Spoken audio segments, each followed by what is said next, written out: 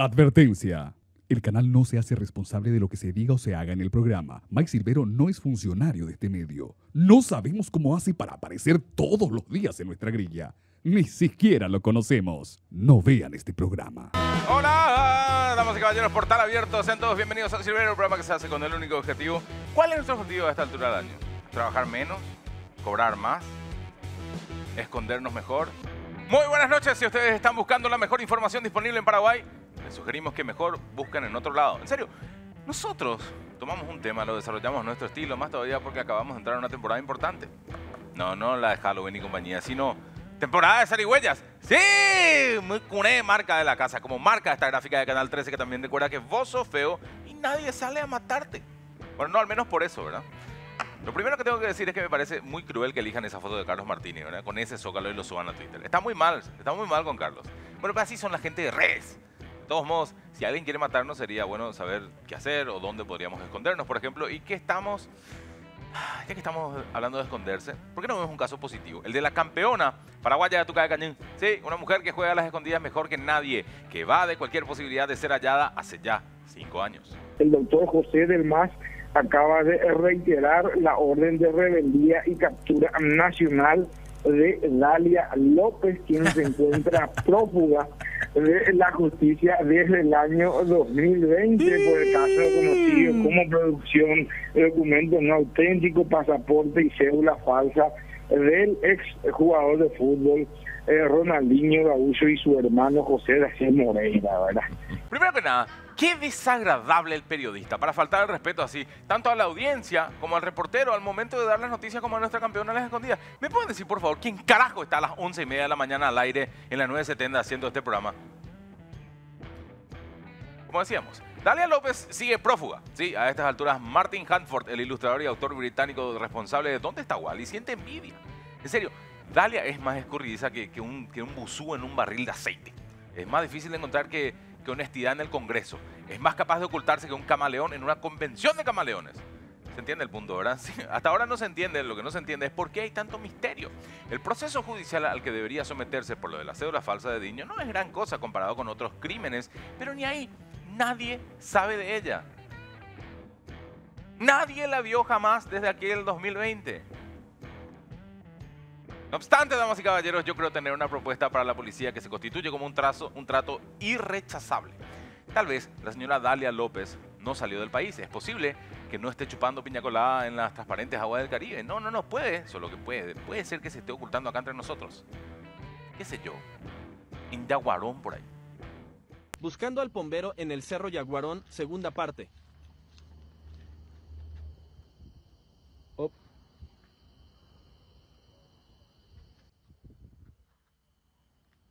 ¿Entramos al laberinto? El laberinto del ya tenés. ¡Sí! Hay un lugar perfecto para esconderse en nuestro país que no es el Chaco, que queman todo el tiempo, ¿verdad? Ni la frontera del este, donde entran y salen un montón de personas que podrían reconocerte. Lo ideal es irte a Yaguarón, sí, ahí, el lugar donde duermen los mitos. Porque nadie quiere buscar ahí. Pero para eso tenemos a arroba veneno TV. Blanco Colmán se llama el joven explorador. Y si tiene huevos para subirse de noche a un cerro y buscar al pombero, este es nuestro hombre para encontrar a Dalia. En serio, se habrán perdido muchas cosas en el Paraguay el poder adquisitivo, la dignidad de los políticos que siguen metiendo nepo babies en la función pública, la plata que se tenía que usar para construir hospitales oncológicos del IPS, el librito con las normas de circulación para los conductores, la capacidad para salir a la calle sin gorro y bufanda cuando baja la temperatura de 20 grados, un poquitito menos. Pero si algo no se pierde, son las ganas de hacer macanada que tenemos. Hablando de hacer y de perder cosas, yo no sé si ustedes se perdieron esto. Sí, ubican a la influencer argentina Dana Butigliero. Tiene ya una cuenta que se llama arroba sabores del conurbano. Tiene más de 650 mil seguidores y fue utilizada recientemente por Mark Zuckerberg como referencia para mostrar avances de Meta en Instagram en cuanto a traducción instantánea con inteligencia artificial. ¿Por qué la eligieron a ella? No sé, capaz porque, porque en inglés bot, ¿verdad? Botigliero en inglés sería algo así como culigliero. Ya saben cómo son los informáticos con su historial de internet, ¿verdad? Es muy complejo. El algoritmo hace lo suyo, pero veamos cómo era la traducción. So now you're going to be able to take your content and it's going to be in your authentic voice, um, speaking other languages if you want. And we're also doing automatic lip syncing, um, so it actually looks like you are speaking the other language. So let's check this one out. De coco, banana y dulce de leche. Esta receta fue una de las primeras que subí a las redes. Hace poquito la volví a descubrir y le hice un par de modificaciones para que sea aún más deliciosa. With coconut, banana, and dulce de leche.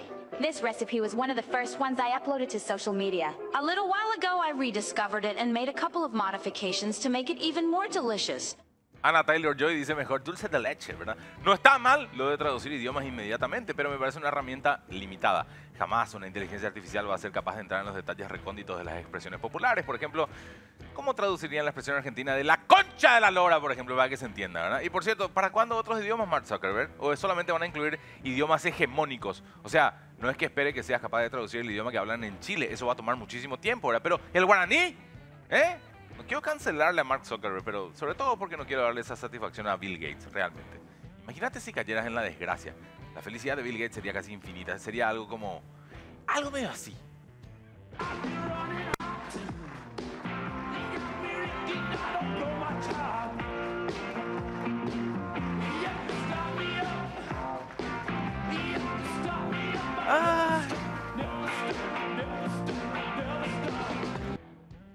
Bill Gates y Steve Ballmer bailan como tus tíos en pedo en, la. no sé. como tu tía y como en el 15 años de tu sobrina. ¿verdad? No importa. Bueno, baila, Bill, baila. Sé vos mismo. No, no hay que dejarse intimidar por el aspecto otaku vestido para el bautismo de sus, no sus primas lejanas. En fin. No es todo alegría en este mundo. Volvamos a Dana Mutigliero. Resulta que la joven alzó una foto preocupante en su cuenta de Threads y la acompañó con un audio que vamos a escuchar a continuación con respecto a su paso y estadía por esta bendita tierra de lava subterránea y gente que desaparece ante la vista de todos. Ayer yo viajé de Paraguay a Argentina porque tenía que regresar a mi casita y cuando voy a hacer migraciones me piden el ticket de ingreso al país. Y yo me quedé tipo re, what the fuck, o sea, le digo, mirá, no lo tengo al ticket de ingreso al país, lo tiré. O sea, ¿quién guarda el ticket de ingreso al país? Bueno, yo viajé con DNI argentino, entonces me dijeron que yo necesitaba el ticket de ingreso al país para que ellos verifiquen que yo había ingresado al país y que si no tenía que pagar una multa. Anda a traducir esto con la inteligencia artificial de Meta, ¿verdad? Correcto, hay multa. Es de 694 mil guaraníes, pero no llores, Dana, no es para tanto. Sería peor que Zuckerberg hubiera usado tu imagen sin avisarte sin pagarte la multa de la aduana paraguaya. Bueno, la mala experiencia de la señorita continuó porque no podía pagar ni con tarjeta ni con moneda extranjera. Y claro, ante el gravísimo problema que esto representaba, terminó colaborando unos 100 dólares básicamente. Pero ella lo que dice es que sintió que la coimearon, lo cual a nosotros nos hace sentirnos como, bueno, Bienvenida, sos una más de las nuestras, ¿verdad? Bienvenida Paraguay, Dana. La coima, si se da, es una sensación más de estar, más como eso es sentir Paraguay, ¿entendés? Junto con el calor sofocante, el tacto del pancito que abraza la empanada y la presencia de un ser mitológico que te silba por las noches. Pero claro, acá hay un par de cosas para decir. La verdad, que estando en el 2024 y siendo parte del Mercosur, uno sentiría que lo de tener un papelito es cosa del pasado, que debería ser todo más moderno. ¡Pero no! Como marca el diario ABC en una nota, presentar el comprobante de entrada al país es un requisito para volver a salir y de hecho esto está establecido por la ley de control migratorio y yo tengo algunas preguntas. Por ejemplo, número uno, ¿dónde podríamos encontrar a Dalia López para que ayude a solucionar los trámites en aduana a esta pobre chica? Si le ayudó Ronaldinho con una cédula, seguro que puede ayudarle a ella. Otra pregunta, ¿qué hacen con el papelito migratorio? ¿Alguien lee? ¿Tiran inmediatamente después de recibirlo? Y la cabinita de control de pasaporte está llena de papelitos arrugados por todos lados. Es una forma de ganar una plata extra de parte de los turistas distraídos o de los que creen que en plena era digital es ridículo seguir usando un fucking papelito de migraciones. En serio, ¿qué información imprescindible está escrita en este papelito choto para que te cobren ese dineral si es que perdés? ¿Qué es lo que somos? ¿Un país o el estacionamiento del shopping mariscal? ¿Qué es lo que somos? Capaz eso fue lo que pasó con Dalia López y Ronaldinho. Tal vez el problema no fuera el pasaporte falso, sino que perdió el papelito de migraciones y ahora se esconde junto a nuestros mitos en un cerro en Yaguarón porque ¿qué va a hacer? No tiene para pagar 694 mil. La policía diría lo contrario.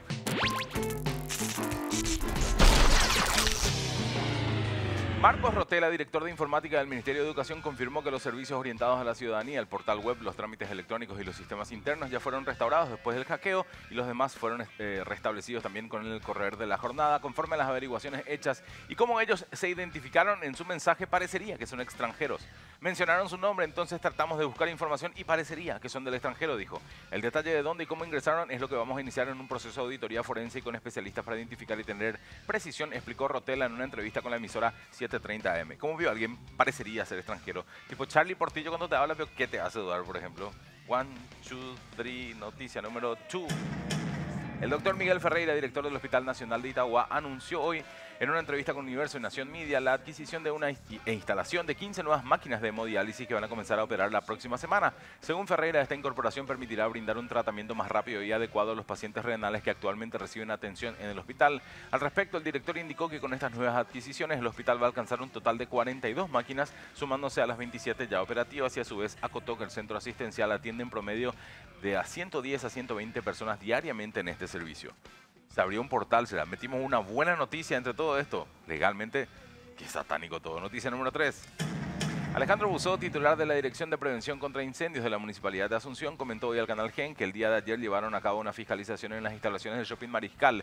Dicha inspección confirmó una serie de irregularidades en el populoso centro comercial capitalino relacionadas con la falta de cumplimiento de normativas y disposiciones de seguridad. Los documentos presentados por los encargados del shopping revelaron inconsistencias entre las que figuran en los planos y lo que realmente está implementado en ambos bloques. Hmm inconsistencias entre lo que dicen y lo que es, tipo los descuentos y las ofertas y eso. Noticia número 4.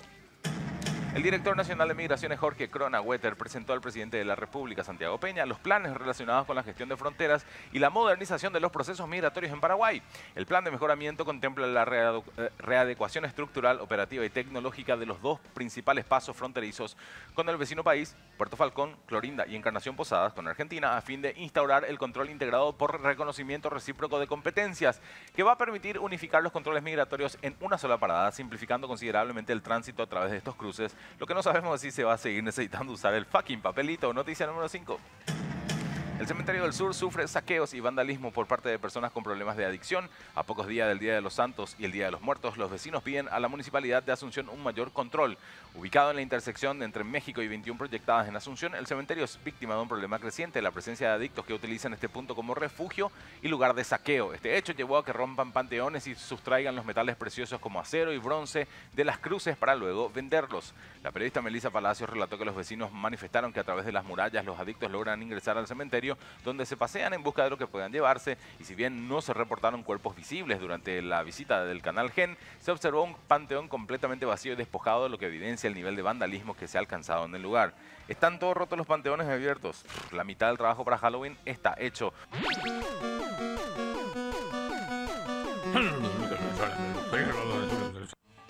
Vamos volando hasta el primer mundo. ¿Qué digo primer mundo? Primerísimo primer mundo, papá. El epítome del primer mundo. Alemania, Deutschland, sí. Esa parte del mundo que parece casi perfecta. La tierra del chucrut, de los chorizos, del Oktoberfest. Esa fiesta en que chupan de jarra de cerveza más grande de mi cabeza. La tierra de... No, no, no, no, no, no hace falta. No, todo el mundo sabe qué pasó allá hace unos 90 años. Vamos a pasar nomás página, no tiene nada que ver eso con la actualidad. Allá en Alemania hay un pueblo llamado... Es... Espera, que te- te- me va a costar decir. Así se llama. Perdón. Pero dicho así, recuerda un poco a lo que pasó hace casi 90 años. Statalendorf. Parece que le reta a alguien. ¿eh? Bueno, perdón. Está en el estado alemán de Hesse. Tiene una vida bastante bucólica. Hay mucha naturaleza, hay arquitectura centenaria, es llena de historia, hay servicios públicos de primer nivel. Por ejemplo, estos tipos tienen una estación de bomberos que es increíble, prácticamente nueva. Perdón, pues dije tienen, ¿verdad? Disculpen. Vamos a trabajar en la conjugación del verbo correctamente. Tienen, pasado, tenían. Sí, hoy en día, Statalendorf ya no tiene estación de bomberos como antes. Porque la semana pasada pasó esto.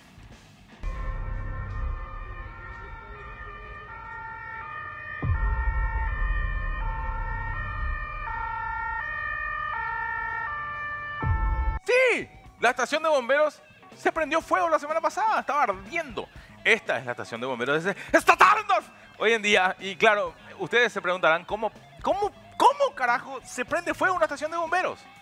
No puede ser ni que tarden mucho en llegar al incendio, porque ahí mismo ni están, ¿verdad? ¿Cómo es posible que el fuego avance tanto que se vuelva incontrolable y acaba consumiendo todo el edificio?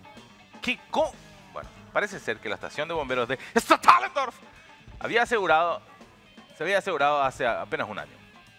Se había inaugurado hace eh, un año nada más. Se inauguró y a ver, ¿cómo no les puedo contar esto? No tenía alarma contra incendios. Sí, Alemania, siglo XXI, los propios bomberos no siguieron las indicaciones que les daban a los demás y pecaron de exceso de confianza. Es como... Exacto, es como si tu nutricionista tuviera un paro cardíaco porque sus arterias estuvieran taponadas con grasa y colesterol, ¿verdad? Es como si tu mecánico pidiera el auto porque eh, no funciona pero el carburador el mío, ¿verdad? O como si a un actor le deja a su novia porque no cree en ninguna de sus mentiras. Afortunadamente ninguna persona sufrió ningún tipo de daño por ahora. Digo esto porque después de que tu propia estación de bomberos salga ardiendo, imagino que los superiores no van a estar muy contentos, ¿verdad? Lars Schaffer, el nombre del inspector este que aparece ahí, el del distrito, parece que no inspeccionó demasiado bien su casa y lo que dijo fue, es una pesadilla para un bombero. Nadie quiere pagar su propia estación de bomberos. Alemania, ¿qué es lo que te pasa? O sea, si eso pasa allá, vos te imaginas lo que puede pasar por acá. En serio, esta noticia, dentro de lo malo que haya un incendio, podría ser chistosa, pero también... ¿Cómo no van a tener alarma contra incendios en una estación de bomberos en Alemania? O sea, no sé, capaz tradujimos mal la noticia y sí tenían una alarma, pero era algo así.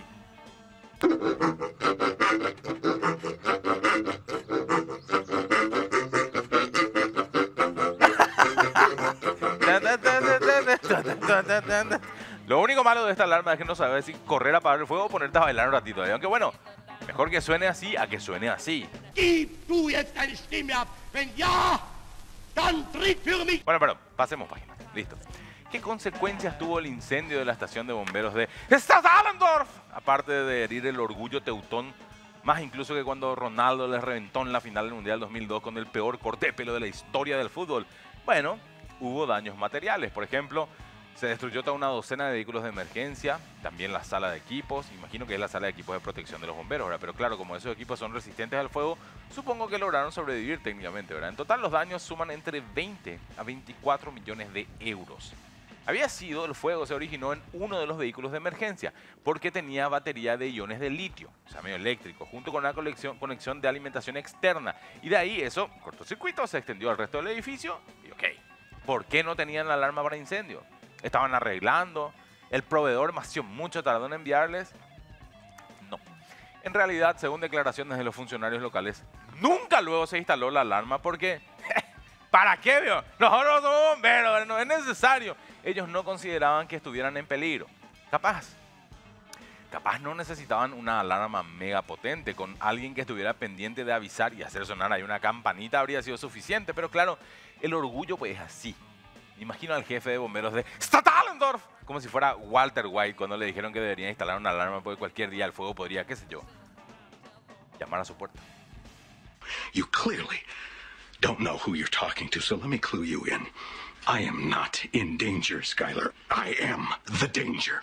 A guy opens his door and gets shot, and you think that of me? No. I am the one who knocks. Ay, qué gran serie, carajo. Bueno, al final él no era el peligro y todo por no haber instalado una alarma, aunque fuera esta.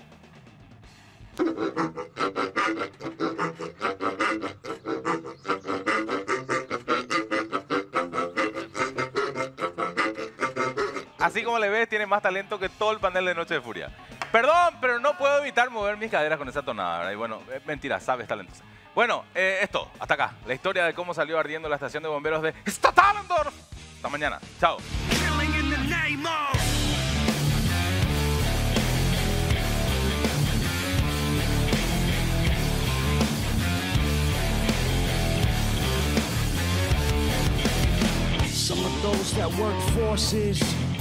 Are the same that burn crosses. Some of those that work forces are the same that burn.